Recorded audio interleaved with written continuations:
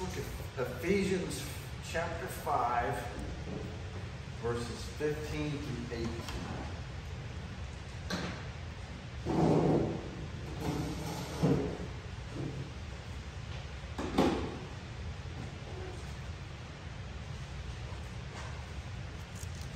Last week uh, we talked about being indwelt by the Holy Spirit, that we are the temple of the Holy Spirit, that He lives within us from the moment of salvation.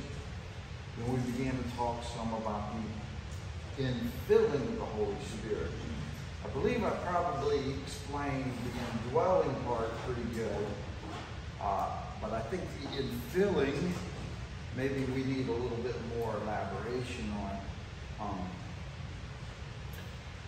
I, I, stressed how that uh, the disciples could be infilled by the Holy Spirit uh, for certain um, services, certain situations, certain emergencies. Uh, I referenced a couple of references in Acts, gave you a number that you could look up on your on your own to see times when the disciples went in prayer or they faced a certain situation and it was like they got a, I compared it to the double portion of the Holy Spirit. Um, used the picture of uh, Elijah and Elisha from the Old Testament. And these are, these are true things. The Holy Spirit can give you what we call a, an infilling, a double portion. That there's extra power or wisdom that you might get face certain things or to do certain things. But let's take a look at Ephesians 5, 15 through 18, because there's more to this than I went into last week.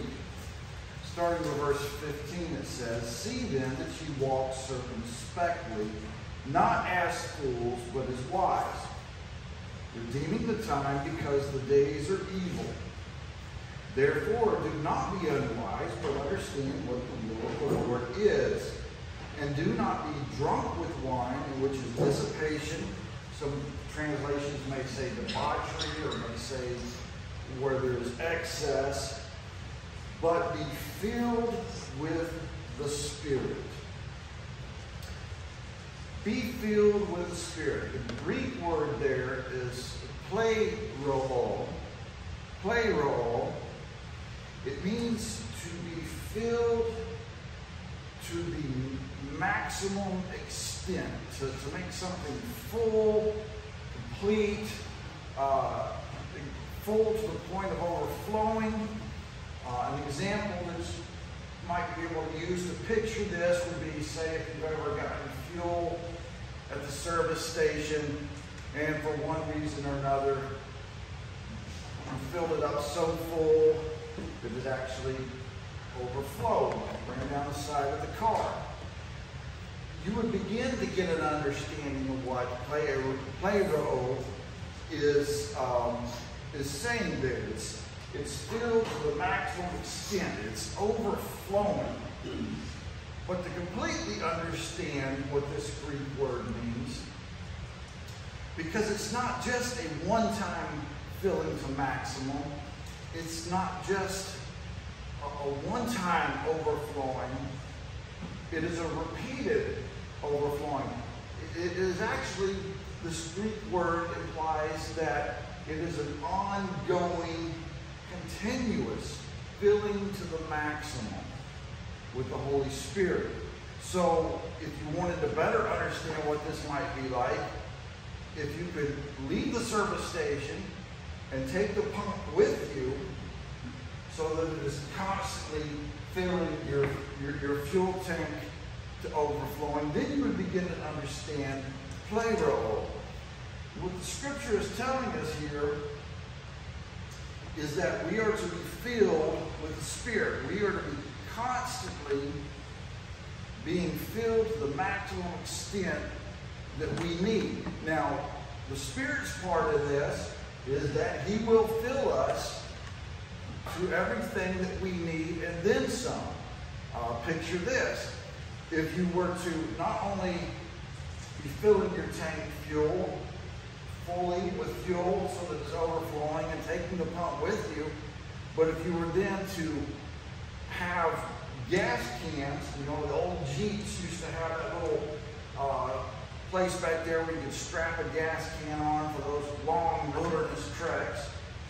Um, if you were to take a gas can and strap it on the back of your Jeep, that you could use to you won't need it because you've got the Holy Spirit constantly filling your tank until it's overflowing, right? But now you've got this gas can full of fuel that you can give to somebody else. That would be an infilling of the Holy Spirit. You've got what you need. You, you've got more than what you need. The Holy Spirit is continuously filling you with Himself, with His power, with His wisdom, so long as you are making yourself available to that.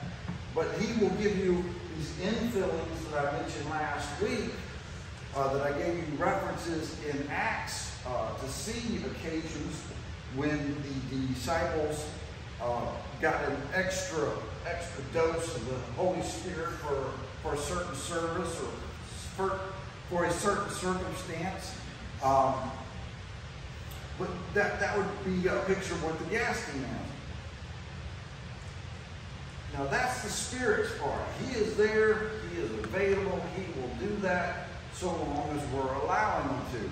But in this scripture we find that not only is this a continuous, ongoing thing to the max that we need and to more than we need so it can overflow to others, but we find that we have a part. He's telling us don't do this. Instead, be filled with the Spirit. This, this being filled not only gives us a picture of the Spirit's ongoing, continuous infilling of us, different from indwelling because he does live within the believer. We are his temple, but he is infilling us with power and wisdom. But it also is giving us a picture that we should be consumed with the idea of being infilled by the Spirit.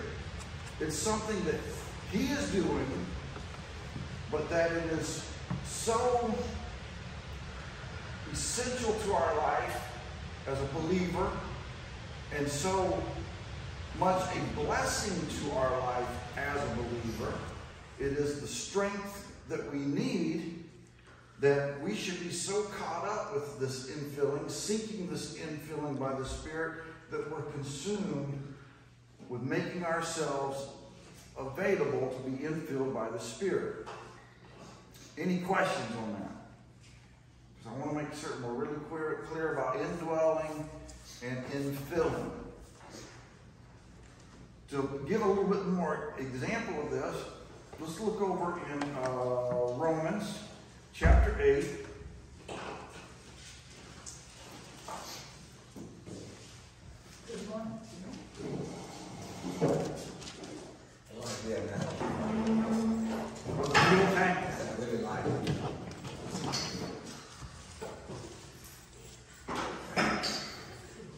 Okay, so some of this infilling of, this, of, the, of the Holy Spirit is to give us the power we need for life and service. Gave you some examples of special circumstances with the apostles, uh, with other believers in, in, the book of Acts, which is, is really the history of the early church and uh, what the uh, apostles and disciples and the Lord was doing to get things rolling and to spread the gospel around the world. But it's not just for these guys that walked and talked with Jesus while he was on the earth. It's not for somebody that's called to be a pastor or some other great role for the Lord, some, you know, a Billy Graham or, or something like that. It is essential for every believer for their life and, and for their service to the Lord. Um, so let's take a look at Romans chapter 8. Should be familiar to you because um, this is this is recent uh, sermons by uh, Brother Blake says, There is therefore now no condemnation to those who are in Christ Jesus, who do not walk according to the flesh, but according to the Spirit. For the law of the Spirit of life in Christ Jesus has made me free from the law of sin and death. For what the law could not do, and that it was weak through the flesh, God did by sending his own Son in the likeness of sinful flesh on account of sin. He condemned sin in the flesh, that the righteous requirement of the law might be fulfilled in us who do not walk according to the flesh, but according to the Spirit. For those who live according to the flesh set their minds on the things of the flesh, but those who live according to the Spirit, the things of the Spirit. For to be carnally minded is death, but to be spiritually minded is life and peace. Because the carnal mind is enmity against God, for it is not subject to the law of God, nor indeed can be. So then, those who are in the flesh cannot please God. But you, referring to believers, are not in the flesh, but in the Spirit, if indeed the Spirit of God dwells in you. Now, if anyone does not have the Spirit of Christ, he is not his. And if Christ is in you, the body is dead because of sin, but the spirit is life because of righteousness. But if the spirit of him who raised Jesus from the dead dwells in you, he who raised Christ from the dead will also give life to your mortal bodies through his spirit who dwells in you. Therefore, brethren, we are debtors not to the flesh to live according to the flesh. For if you live according to the flesh, you will die. But if by the Spirit you put to death the deeds of the body, you will live. So, as believers in Jesus Christ, as those who have received the forgiveness of our sins, as those who have joined the family of God, We've got a relationship reestablished with God. We are believers. We are now indwelt by the Holy Spirit of God.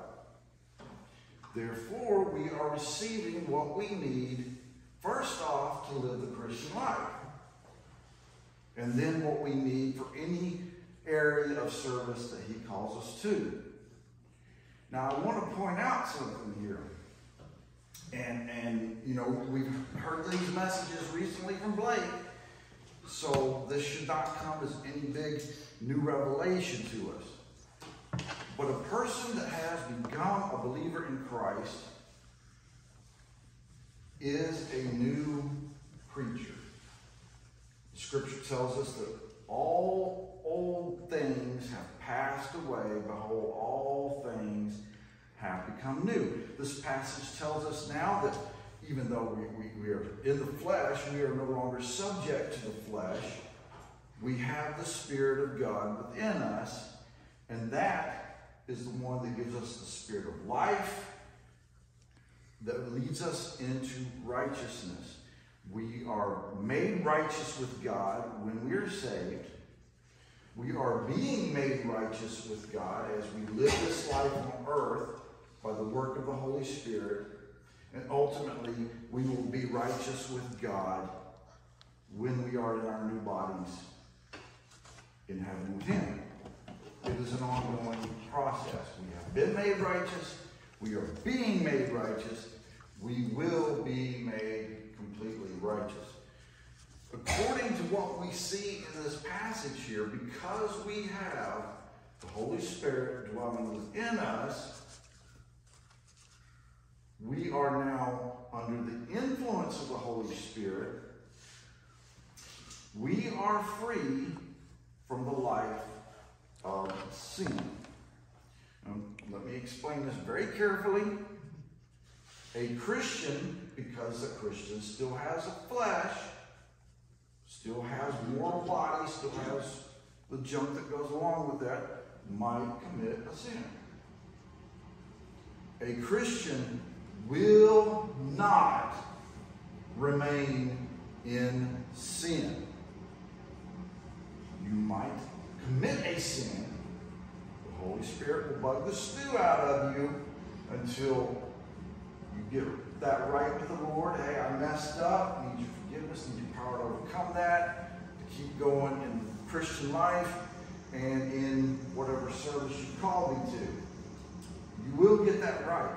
You will not remain in sin because you have been made righteous and you are being made righteous by the Holy Spirit. You do have, it is completely scriptural to say that you can live a life of sinless imperfection here on the earth. A Christian will not live a life of sinful imperfection.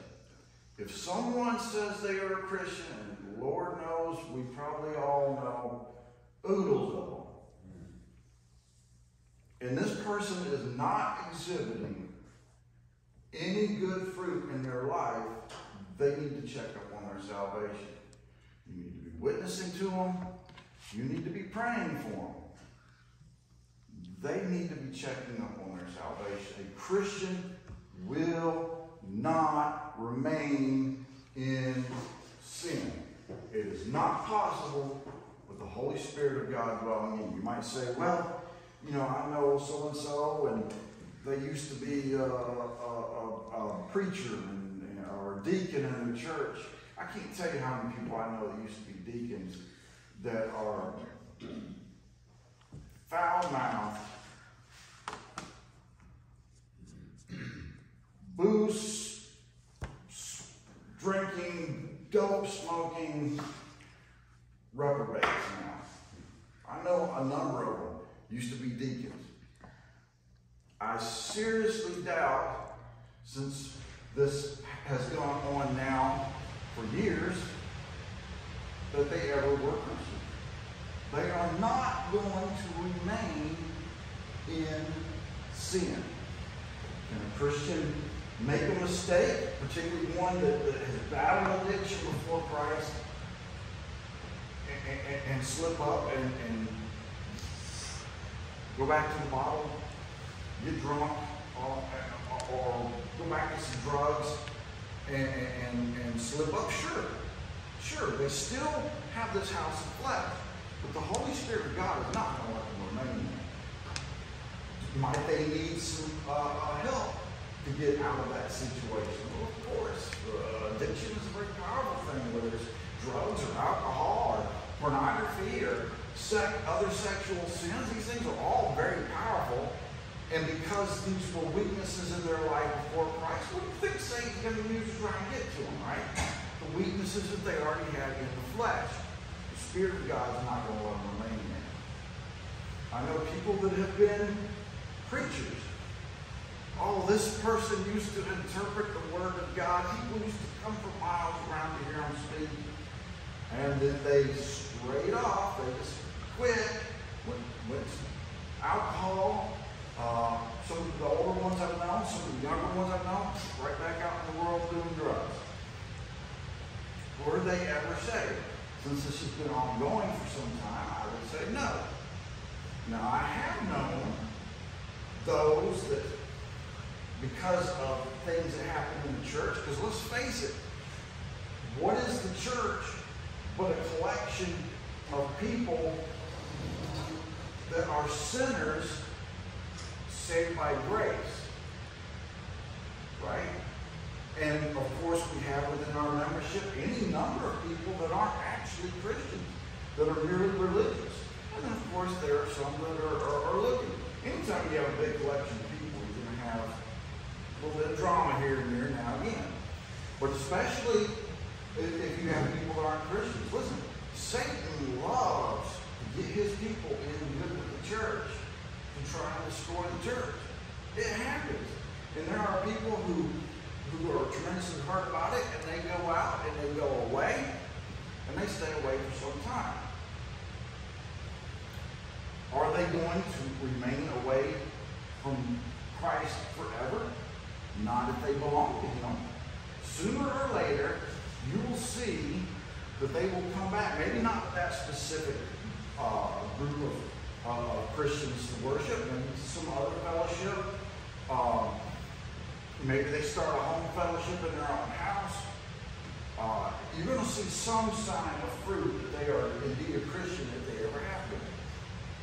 They're going to spend some time in the Word or in, in prayer. You're going to see some exhibit of fruit. You're not going to see people go out and become the polar opposite of what a Christian should be. It's not going to happen. It cannot happen if the Holy Spirit indwells you. He won't allow it to happen. Scripture tells us that uh, they've had people that have uh, gotten off into sin in the church and they refuse to repent and be right of their sins. So what did the Lord do? He took them out. Yeah, has actually caused, Paul said, some sleep for this reason. In other words, put them in the graveyard to keep them from being a stumbling block for those that don't know Christ. Any questions on what I'm saying? I want to make certain I'm saying it clear about having the Holy Spirit and not being in sin. Let me, let me check, make sure I got it right. Can you, as a Christian, commit a sin? Yes. Will you remain in sin? Hmm? You're not going to. You are not going to. The Holy Spirit is either going to bug the stew out. Now, it may take a minute. It may take a minute. I've known some people it took a minute. Some people that are really fired up doing great things for God now that, that spent a little time. And it really came down to Satan got his minion into the, the, the mixed in with the body of Christ, and that minion, not being a Christian, was there for no more purpose than to cause division and to cause the weak to stumble. And they stumbled. And they stayed out for a while. But you will come back You will be drawn back to Christ. Or he's going to set you aside or take you out altogether if you're a stumbling block to those that he would draw to himself or to those that, are, that he is growing in his likeness. A true believer will exhibit a Christ-like life. Can you stray from that? Yeah. Just wait. You ever see me lose my temper? It's not going to be very Christ-like. It's going to tell you. You know, Jesus made a, a scourge of cords and drove people from the temple saying, this is my father's house. Maybe I'm just going to eat the stew out of them and figure out why later. It won't be very Christ-like. But, so, Christians can mess up. But one of the marks of a Christian, even after they mess up, is because they have the Spirit. They get it back right. And they should be continuing to grow even more Christ-like after that point. That make sense? Yeah, I an example of that. Would they bring it, know, I said in Baptist convention Sorry. yeah. Uh, I have a lot of concern. We, we've seen the infiltration of Satan into other denominations.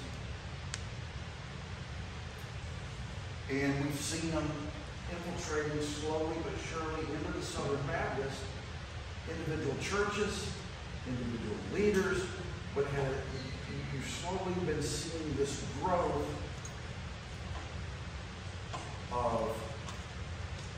anything but Christ, even in the convention now. Uh, the, the first warning signs that we had on the level of the convention was when it became more important to make a big to-do about things like condemning the uh, Confederate flag, but you saw less and less effort going out to missions.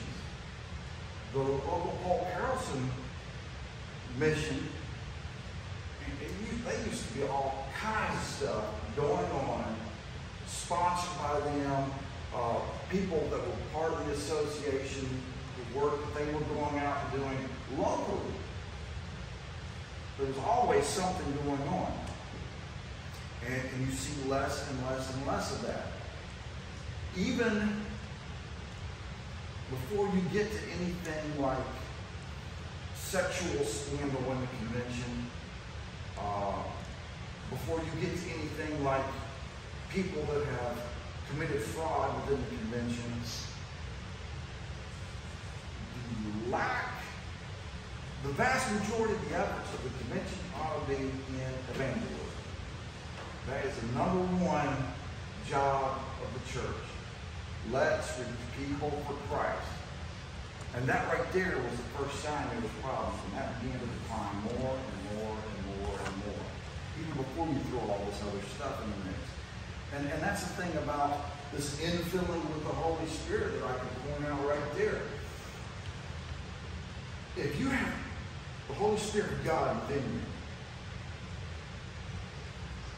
and God is love, and you are being filled to the maximum so that it is overflowing, then there ought to be people around you feeling that love.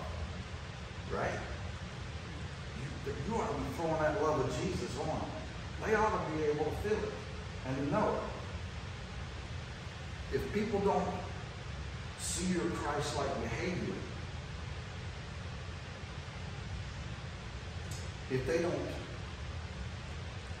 feel that there's something different about you, that you care for them, then you need to check up on how close you are to this with the Spirit. Uh, perhaps, and I'm not saying you're not a Christian here, but it is possible, and we'll get to this uh, probably next week. There are ways in which you can offend the Holy Spirit, and, and, and you can have a little bit of uh, tension between the two of you, if you will, a little bit of strife, a little bit of uh, you don't have that open flow of communication, that spirit filling you power while you're living and walking in the Spirit. It can happen. We'll talk more about that. I think it'll be next week. Like I said, we're spending a lot of time on the Spirit because there's so much about the Spirit that's either not understood or misunderstood. And this Holy Spirit is responsible for so much and it's so crucial to the Christian life. Uh, for example, let's go to Galatians chapter 5. What's my time since I didn't run my watch today? 1027.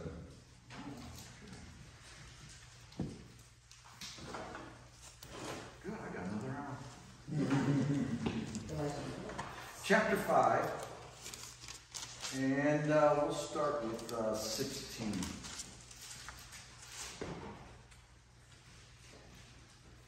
I say then, walk in the Spirit, and you shall not fulfill the lust of the flesh. For the flesh lusts against the Spirit, and the Spirit against the flesh. And these are contrary to one another, so that you do not do the things that you wish. But if you are led by the Spirit, you are not under the law. Now the works of the flesh are evident, which are adultery, fornication, uncleanness, lewdness, idolatry, sorcery, hatred, contentions, jealousies, outbursts of wrath, selfish ambitions, dissensions, heresies, envy, murders, drunkenness, revelries, and the like of which I tell you beforehand, just as I also told you in time past, that those who practice such things will not inherit the kingdom of God. But the fruit of the Spirit is love, joy, peace, long suffering, kindness, goodness, faithfulness, gentleness, self control. Against such there is no law. You can see a real absence of the Holy Spirit in the world today. you can see where mankind has resisted and resisted and resisted the pull of the Holy Spirit, the work of the Holy Spirit to draw them to Christ. And you see, I mean, turn on the news, uh, and, and how many of these works of the flesh do you see? It's ridiculous. You know, we, we were talking up in up in near where we live. There was recently a case. Uh, a mother went nuts and started killing her children. Uh, killed what? Two on the scene. Killed three. Or three on the scene. Another one dies in the hospital a day or so later. Sent, sent like three of them to the hospital, two dead on the two or three dead on the scene. And uh, since she couldn't get the two teenagers, she sets the house on fire and trying to keep them. And we were talking about that. We were like, how in the world could a mother do such a thing? You know, men do not have typically that same gentle, nurturing spirit that a woman does, particularly even for her offspring. You, you know, you know the, a woman can become a, a she bear to protect her, her offspring. And while men can become mighty warriors to protect their offspring, it's still not that same nurturing, you know, uh, spirit within a man that a woman has.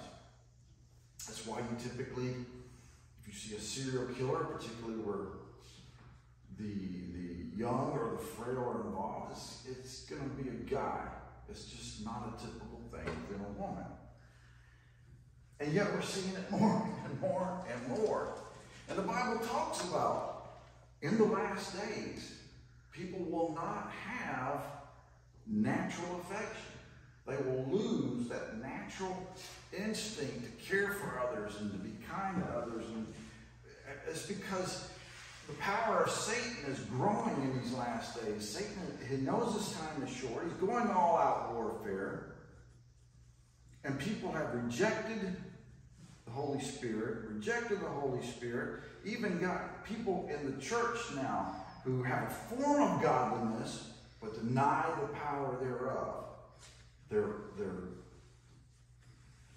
holding the Holy Spirit at bay, if you will, uh, by so many that are in the church that are not Christians.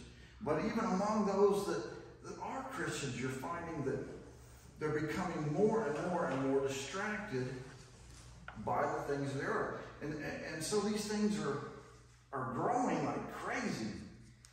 And you can see that how all of these are are, are, or the things of sin and evil and not of the Holy Spirit. As a matter of fact, right there in that verse 16 and 17, he reinforces what was said in Romans chapter 8 that the spirit and the flesh are contrary to one another. And that if you are walking in the spirit, you are not going to be fulfilling the lust of the flesh. So, what does the Spirit give to us but good fruit? You can tell one that belongs to Christ because they bear good fruit. Why? Because the Holy Spirit is growing good fruit in them. And what is that good fruit? But we have love, joy, and peace. We have long suffering, gentleness, and goodness. Uh, we have faith, meekness, and self control. The good fruit of the Spirit will be growing in somebody that belongs to Christ, and because you have good fruit growing in you, you know, a tree that bears good fruit is going to bear good fruit. A tree that bears corrupt fruit is going to be bearing corrupt fruit. And we can judge fruit. We can see fruit and see what kind of person uh, we are dealing with. Uh, does that mean we, we judge them to condemnation. No, if you see somebody that's bearing bad fruit, the first step is you're going to be praying. The next step is you're going to be sensitive to the Spirit if they need you to witness to that person, to bring them salvation, or if it's a brother or sister that's gotten sideways and needs to be brought back, that's for the Holy Spirit to tell you and empower you to do because we are expected to look out for our brothers and sisters. We're supposed to bear one another's burdens. We're supposed to, if we see one taken in a fault, to go to them and try to bring them back into uh, the uh, correct walk because we can make mistakes of sin. But we cannot stay there. And one of the, the, the, the, things that the Holy Spirit uses to make certain He won't stay in sin that are Christians is other Christians that are walking in the Spirit. So let's take a look at some of these fruits. You've got love, joy, and peace. Now these are these are really your relationship with God, the Father. God the Spirit is going to bring about good fruit in you that are love, joy, and peace in relation to God the Father. Okay? Now, I was talking a minute ago about, you know, you got love in you because of the Holy Spirit. That love flows out to others, which is true. But you got to go to the source of love. First, Scripture tells us God is love. He is the very source. Love is not just something he feels or gives or shows.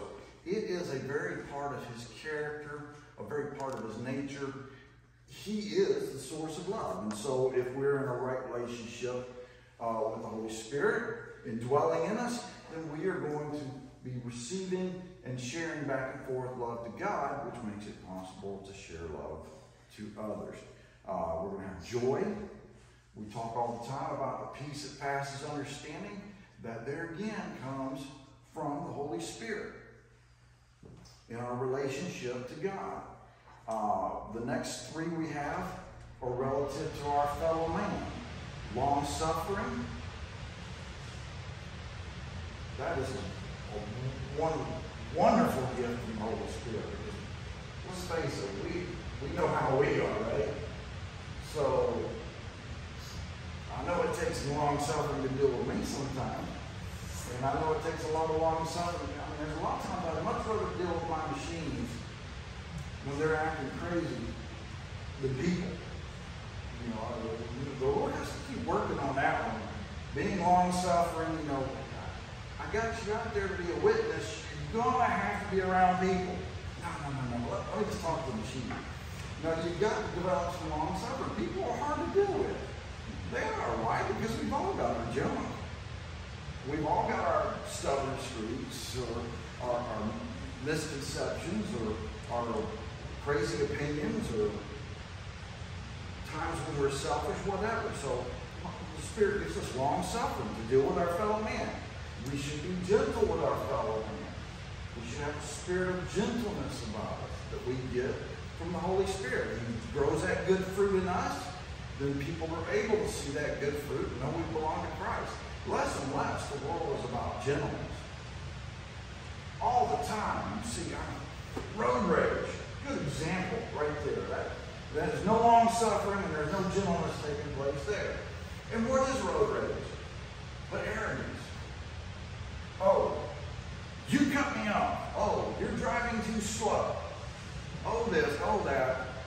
I don't care what the law says, I'm passing you on the double yellow. Why? You can't pass me on the double yellow, now I'm going to run you off the road. It's all arrogance. All that is. We don't see a lot of gentleness in the world. You think how many times you go to a, a, a drive-through or something, and people are just, there's no courtesy. There's, they're, they're impolite, they're rude. They, you know, there's a time to speak directly time to be uh, a little blunt. But most of the time you should be polite and courteous and tactful because that is that comes out of having that spirit of gentleness and the way we should deal with each other. But the crazier the world gets, the less of it you see. A spirit of goodness, being good to other people, being good in our behavior. You know, that righteousness. We are different from others because we are good. They can see that goodness within us because of the Spirit dwelling in us. Apart from Christ, there is no goodness. Uh, Isaiah 64 6 tells us that all our righteousness is filthy rags. But with the Holy Spirit, we have goodness. We have been made righteous. We are being made righteous. We will be righteous. Then we see uh, for living our own life, faith. I've said it before and I'll say it again. Apart from the Holy Spirit, you don't have faith. The very faith you need to believe has to come from the Holy Spirit. None comes to the Father unless they are drawn by the Spirit. And to have that faith to trust the Father comes from the Spirit. A spirit of meekness, a spirit of self-control. All these things are gifts from the Holy Spirit. The better our lives, the better our relationship with others, the better our, our relationship with God, and people see these good fruits growing in us and being uh, exhibited to the world. And these are the things that draw them to Christ and help them to grow in Christ. Uh, we find also in these same passages, and we'll get more into this next week, that the Spirit is the guide for the believer's life. He is the one, and I've touched on this a little bit, uh, and you see it a lot in the book of Acts, but he is the one who calls you to service and, and, and equips you to that service. You know, the, if you're, an example of this would be uh, the Apostle Paul saying, you know, or even before the Apostle Paul, the Lord Jesus Christ telling his disciples when he sent them, don't worry about what you're going to say when you stand before these judges and rulers, but the Spirit will direct your words. So think on that some, and we can jump more into the Spirit being the guide for the believer's life. The Spirit determining what our area of service should be and equipping us for that. Any thoughts or questions?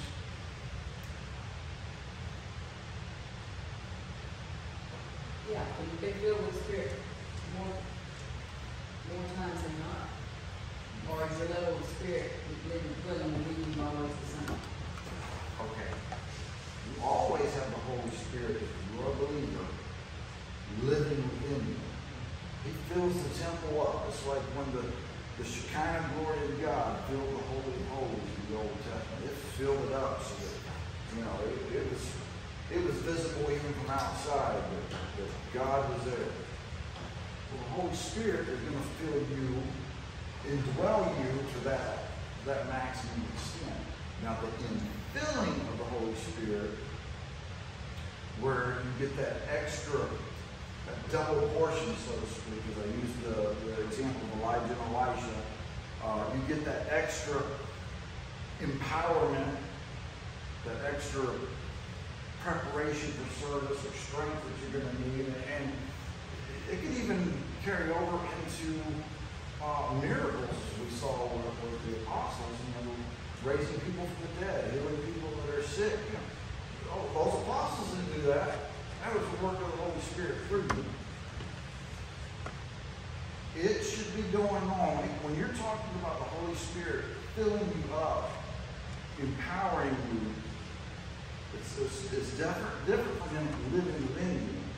When you're talking about him filling you up, it, it, empowering you to that service, to that challenge, to that emergency, that should be thing that goes that happens again and again and again as it is needed to the point that it is a continuous, ongoing thing. Just like dragging those fuel pumps with you, you know, they're still filling you to overflowing. Um, it, it, it, it doesn't stop. And what you you can you can slow it down if you're a Christian and you grieve the Holy Spirit. Um, if you do something to put distance between you and the Lord, admit that sin until you repent and get back on the right track, yeah, you can slow it down. He's still going to be living within you. If ever you are a Christian, you are a Christian. and the reason I asked that, we've been in service for ten, fifteen minutes before the sermon, sermon actually started.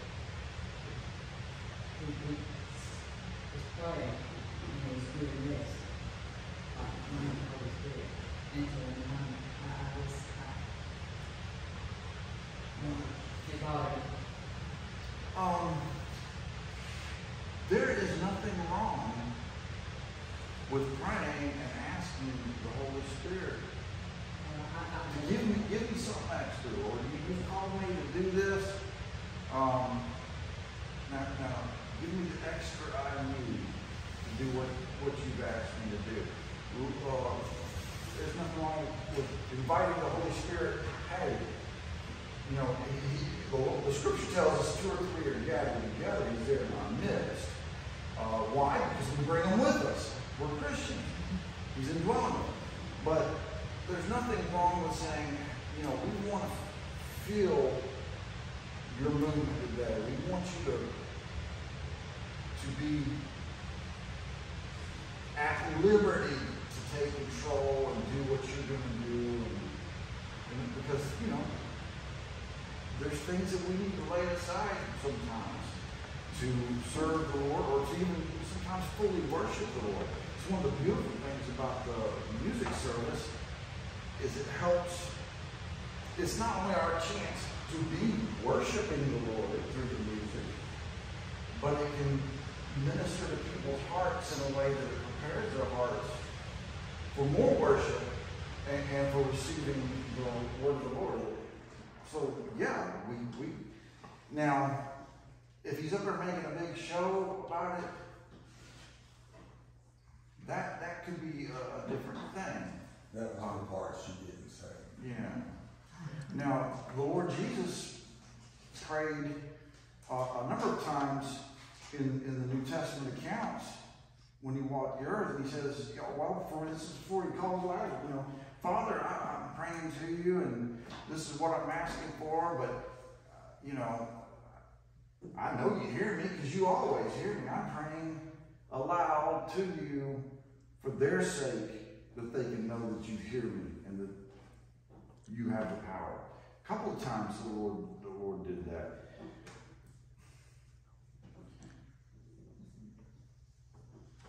There's a lot of showmanship that goes on. And the spirit that's, well, for instance, there, there's a local church. I know some some good Christian people got that went to this church when it started up, and they might have had the right idea to begin with. I don't know, but it's now a big.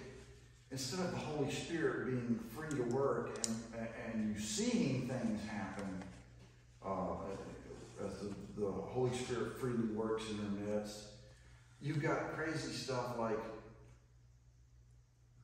ladies falling down at the altar and rolling all around so that you see their undergarments. That is not the Holy Spirit. The Holy Spirit will always work in a manner that's decent and orderly. Someplace. And- He is not about us being the object of, of what people are, we're, we're not the, the show. It's not about people looking at us. It's not about people saying, goodness gracious, he's calling the spirit down. He must be super holy. Something's askew there. But I have, you know, observed times when people were really, man, they talked to the Lord and you knew they were talking to the Lord and you knew something was fixing to happen. I, have seen that. But I wasn't left with thinking, wow, this person's it's like, man, I want to get close to the Lord where people or touched, you know, uh, by the Lord because I'm willing to serve. That's the kind of your spirit. The Spirit will let you know if you're walking in the Spirit. The spirit is going to let you know if something's legit or not. I agree. I believe. Anything else? I think it's time to go to worship.